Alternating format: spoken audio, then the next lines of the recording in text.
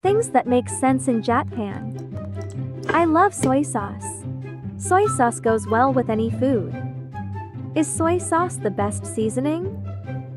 But there is only one drawback. Soy sauce oxidizes quickly.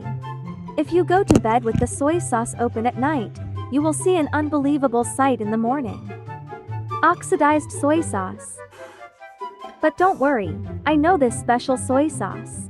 Prevent oxidation, soft sealed bottle. This bottle is made up of a double structure with an outer bottle and an inner bag. When you press the bottle to release the soy sauce, only the inner bag transforms into a smaller size. This prevents the soy sauce from coming into contact with air. Fresh soy sauce. If you are tired of oxidized soy sauce, please come to Japan.